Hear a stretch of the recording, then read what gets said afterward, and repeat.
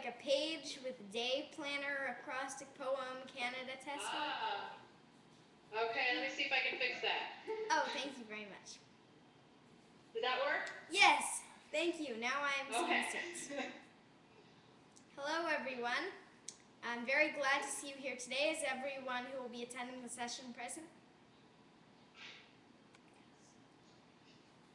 Okay, then we can get we started. can't hear you very well. Oh, you're not able to hear me. Um, is your is the volume on your system all the way up? Because um, that that often helps. Like for instance, mine is on 21, which is the highest it can go. I was hearing a The, little. the volume's up, but the feed is cutting out. Like you're all like uh, Charlie Brown and his teachers. Yeah, I heard a little bit of an echo, kind of, and um, I'm not sure what the problem with the audio could be. Could could you maybe um sorry, what speed are you dialing in at?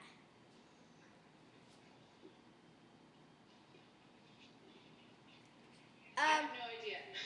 oh, okay, that's fine. That's fine. Probably one fifty. Um, well, you can. Do you have like a tech person or, or someone like that on hand? yes, I'm gonna call her right now. Okay, great. Thank you.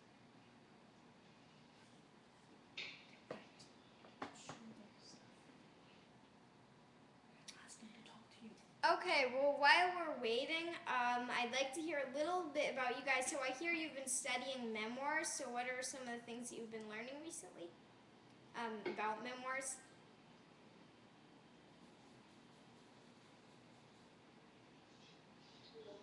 What? Oh, okay. I'm sorry. If you're not able to hear me very well, then um, I'll try writing on the board. Let me grab one of my handy pens.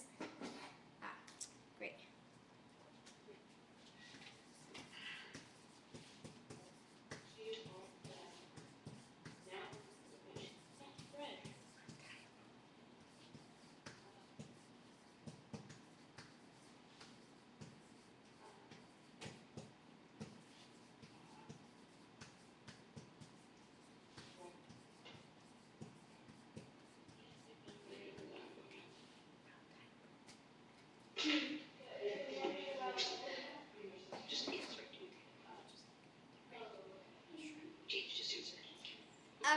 Teacher mind calling on a student?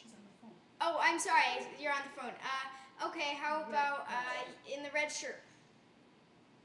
Me? Yes.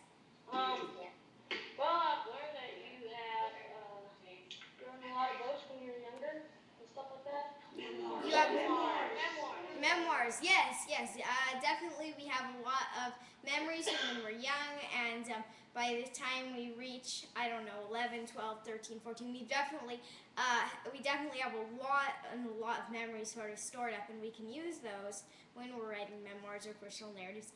And um, a lot of us might have like defining moments or moments where we realize things.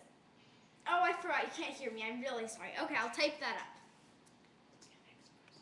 We can hear you. We can Yeah. hear you now. Oh, you can hear me now. Yeah. Okay, great. Then we can get started. Uh, let me know if it if it cuts out again. So, hello everyone. My name's Adora Svitak. I'm the author of Flying Fingers: Master the Tools of Learning Through the Joy of Writing, and this is the book that I published at the age of seven. More recently, I've been working on a project called Dancing Fingers, and this is the advanced copy of the poetry book that I have been collaborating on with my older sister Adrienne, and she also contributed poems to this. And today we are going to be learning a little bit about how to write skillful personal narratives, and um, this should help you with writing memoirs. So let's see. Um, if when you write a personal narrative, you are writing a story from your own life. And um, so let's see. I think I'll write about my birthday party. So I'm going to open up a document and write about my birthday party. Okay. Let's hope you can. Uh, are you able to see the document? Yes. My birthday party was very nice. A lot of people came. I ate a big round choc- chocolate cake with fake roses on the top. We played games and had a lot of fun. You know, this is like pretty much a typical birthday. Um, do you think it's kind of boring, this passage? Yeah. Yeah, me too. And so when we're, this sounds kind of boring to me. So how can I make it more exciting? Go ahead, Shane. Oh, sorry, uh, Jay, go ahead. Yeah, facing the wrong way.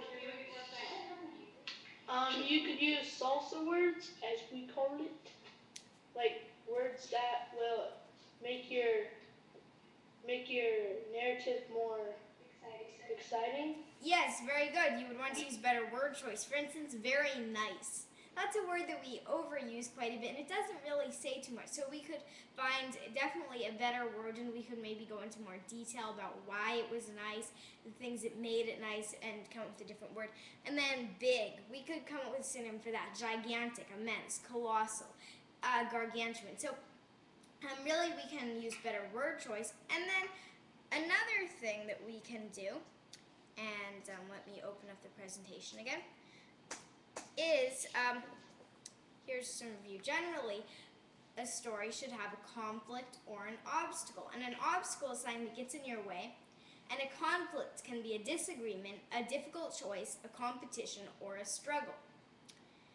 So, a conflict or an obstacle, or both, would probably make this passage a little more exciting. So, for instance, maybe I have a conflict with the guests or with my older sister about what kind of game to play.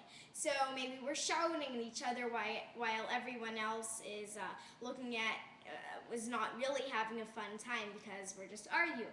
Or maybe the cake, maybe um, my dad is carrying the cake upstairs, trips on the stairs, and the cake falls and breaks. So, um, what would be some more examples of conflicts or obstacles? Brandon, go ahead.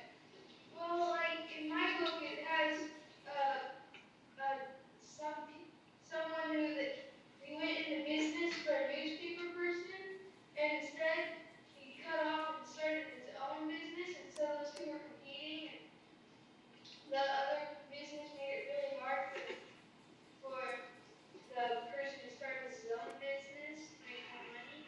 So it got harder for him, even though he started his own business. Okay, that's that's a very good example of a conflict, definitely. Um, and um, competing businesses, and it's a, quite hard sometimes for small businesses, especially new ones, to enter the neighborhood. And then there are all it's the um, particular object that they're selling or whatever service is already nearly monopolized by some other company. So yes, that would be a huge conflict. Now, now, would anyone like to list an obstacle? Um, I just recently read a book called Poison, and her adventure mainly set out to rescue rescue her little sister from fairies.